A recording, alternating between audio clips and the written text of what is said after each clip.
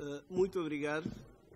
Eu, a semelhança do meu colega que me antecedeu, chamo-me Adelino Francisco Sanca, sou juiz conselheiro do Tribunal de Contas da Guiné-Bissau. Uh, a minha apresentação vai,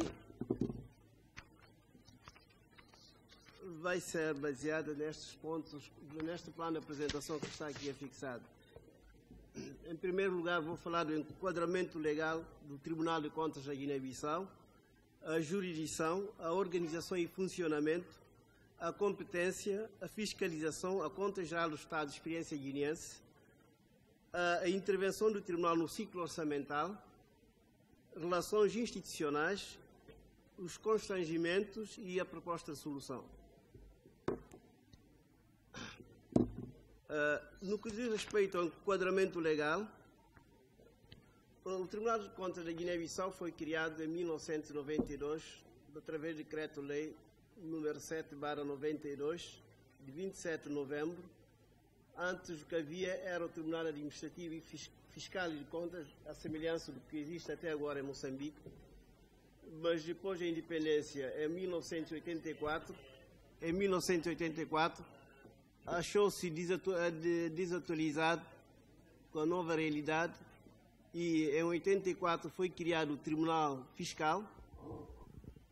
Foi, em 94 foi criado o Tribunal Fiscal, ficando o Tribunal Administrativo e Contas. Eh, em 92 foi criado o Tribunal de Contas, através da lei que eu referi há bocado, com competência para conhecer do contencioso administrativo. Em 2002, 2001 2002 foi depois retirada esta competência administrativa, passando para os tribunais comuns. Portanto, é um tribunal, é um órgão de soberania, é um órgão máximo de controle financeiro, é um órgão de controle jurisdicional, é dotado de independência. São garantias de independência o autogoverno, a inamovilidade e responsabilidade dos seus juízes a exclusiva sujeição à lei. Uh, a jurisdição do Tribunal de Contas abrange toda a ordem jurídica guinense, tanto em território nacional como no estrangeiro. Estão sujeitos à jurisdição do Tribunal de Contas os serviços autônomos, o Estado e todos os seus serviços, a administração local, as empresas públicas, quaisquer outras entidades que beneficiam dos fundos provenientes de algumas entidades acima referidas, uh, ou obtidos com a sua intervenção, nomeadamente através de empréstimos, avales e subsídios, etc esta jurisdição do Tribunal de Contas incide sobre a generalidade das receitas e das despesas públicas e da atividade de gestão dos fundos públicos. A organização e funcionamento. O Tribunal é composto por cinco juízes, conselheiro, incluindo o seu presidente. O presidente é nomeado pelo, exonerado pelo Presidente da República.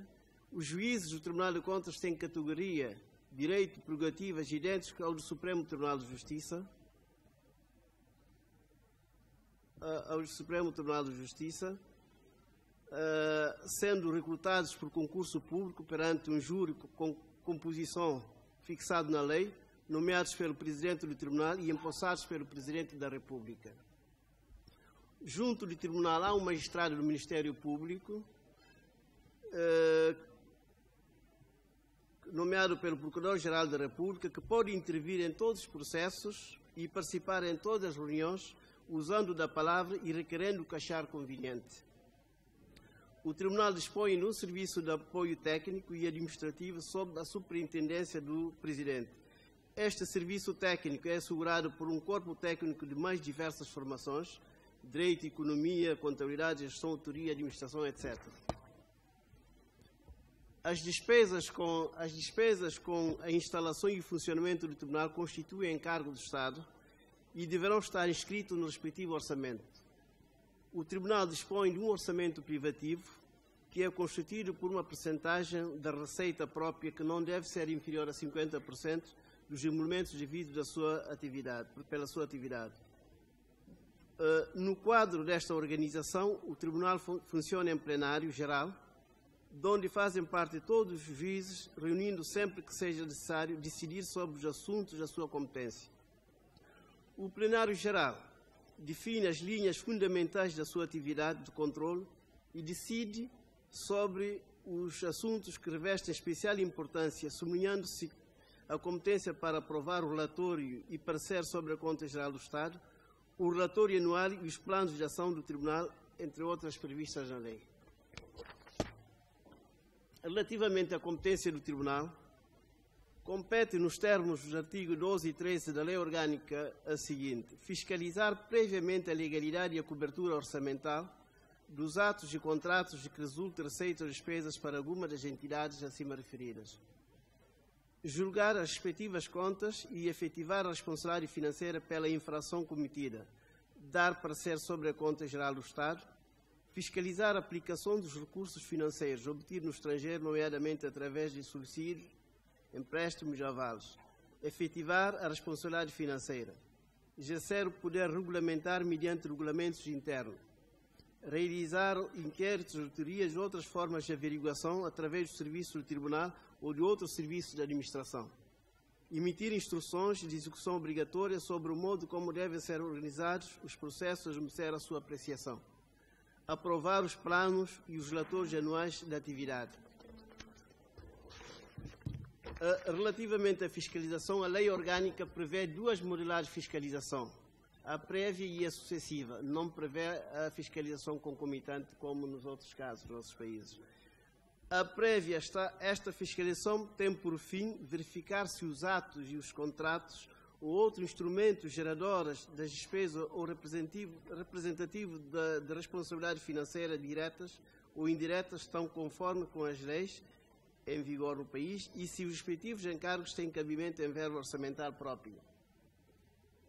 A competência do Tribunal de Contas nesta matéria exerce-se através de concessão ou recusa do visto. A lei enumera no seu artigo de 23 os atos e contratos praticados celebrados pela entidade sujeita à sua jurisdição. Eh, relativamente à fiscalização sucessiva, um dos princípios fundamentais da boa governação é a obrigação de prestação de contas. O julgamento das contas consiste na apreciação da legalidade da atividade das entidades sujeitas à prestação de contas, bem como da respectiva gestão econômica, financeira e patrimonial. As contas são prestadas por anos econômicos. O prazo para a sua apresentação é de seis meses contado do último dia do período a que, a que diz respeito, isto é, depois do encerramento do ano, há três meses para aquele período complementar, mas três meses para a organização e envio de contas ao Tribunal de Contas. O Tribunal poderá fixar prazos diferentes a requerimentos dos interessados que invoquem motivos justificados, como é o caso de, de Moçambique, que acabou de referir agora. Os prazos para o julgamento de contas de um ano, e este prazo pode ser suspenso por tempo que for necessário para obter informações ou documentos ou para efetuar eh, investigações complementares da responsabilidade financeira.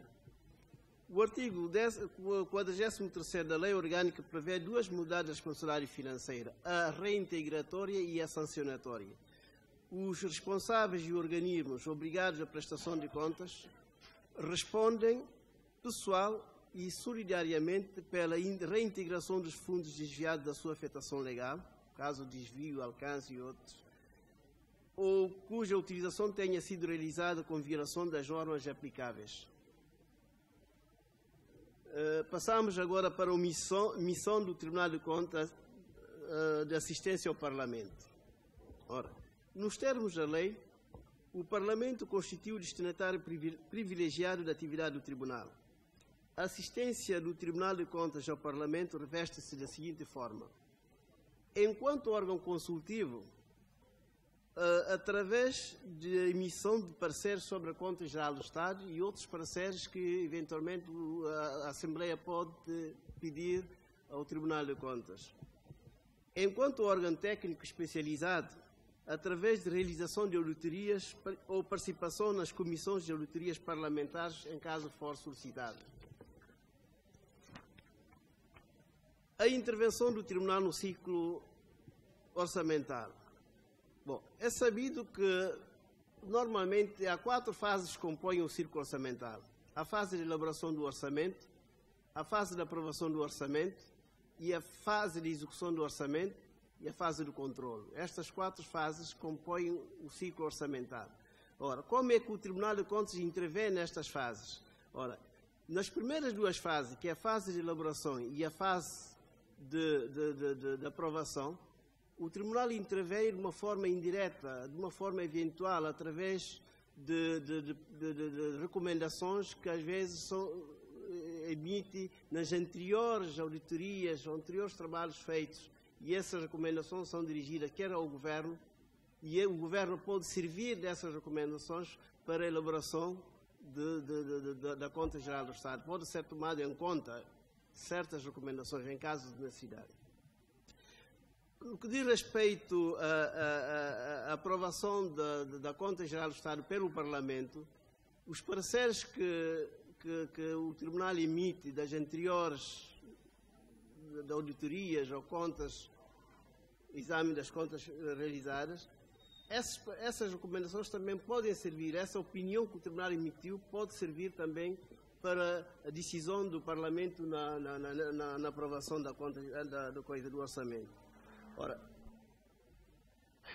na fase, na fase de execução, o Tribunal intervém através, de, através de, de, de, fiscalização prévia, que é, que, é, que, é, que é do visto, e também de auditorias que faz e no fase de controle, que é da competência do próprio Tribunal, em relação à sua missão. Relativamente à experiência guinense sobre a conta geral do Estado, eu sei que o tempo esgotou, mas uh, deixem-me só mais uns dois, dois minutinhos para, para explicar a nossa experiência sobre a conta geral do Estado da Guiné-Bissau. Durante a existência do Tribunal, foram remitidos três contas gerais do Estado. A primeira conta foi remitida em 1996, em 96, o tribunal foi criado em 1992, nos finais de 92. Em 96 foi emitida a primeira conta já ao Estado relativamente ao ano 95. O que é que aconteceu? O tribunal começou já, lançou a missão e começou já a trabalhar a conta com a ajuda de Portugal e um tempo depois houve aquela guerra civil e aquilo ficou parado, inclusive na altura daquela guerra civil, o próprio presidente do Tribunal de Contas foi assassinado, de modo que nunca mais soube da, da, da, daquela conta. As, dois, as duas últimas contas foram remetidas em 2010 e 2011. Na altura também que se lançou a missão para exame dessa conta, houve aquele golpe de Estado 12 de abril, este último golpe de Estado 12 de abril mas o tribunal já tinha lançado a missão, o tribunal já estava no terreno a fazer o trabalho. O que é que constatou? Que as peças justificativas, os documentos que são suportes da conta, estavam todos. A imagem que vimos há bocado apresentada sobre as peças eram piores mesmo do que aquela que estavam todos no chão, molhados, com algumas. Uh, quer dizer, em condição de, de, de, de dificuldades em termos de exame dessa conta.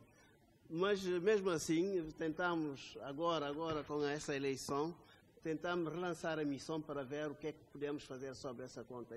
Se ainda vai ser possível examinar aquelas peças cativas em condições em questão.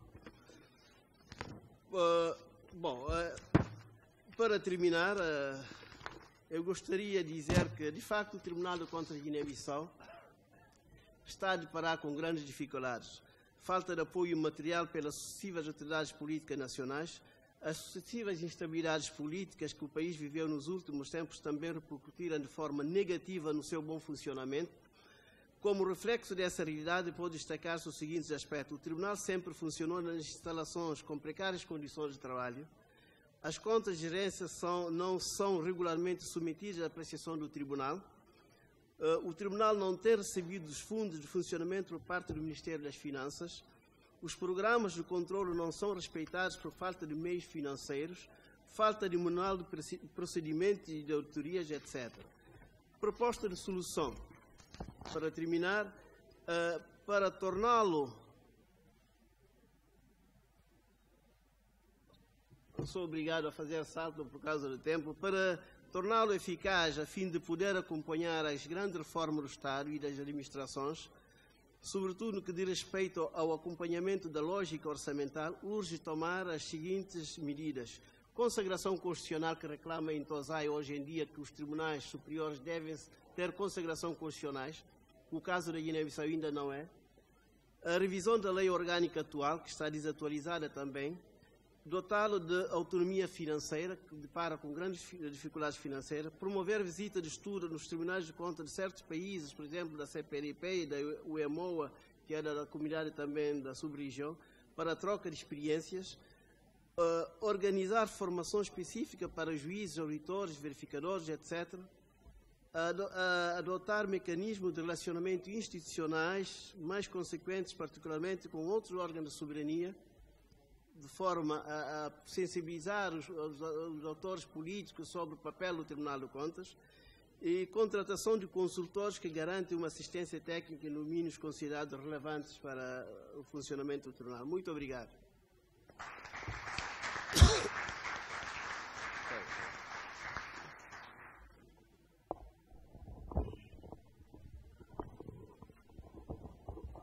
Muito obrigado ao conselheiro da Guiné-Bissau pelo esforço em, em, cumprir o tempo.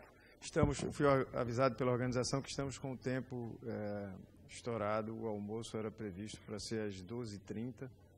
Já passamos 15 minutos. Então, temos duas opções. Continuamos com as perguntas ou fazemos um intervalo para o almoço e depois do almoço temos um pequeno tempo para uh, os debates. A decisão é do plenário. Eu vou fazer a função de relator. Meu voto é por deixar as perguntas para depois do almoço. Os, os conselheiros com a velha vocação de votar segundo o relator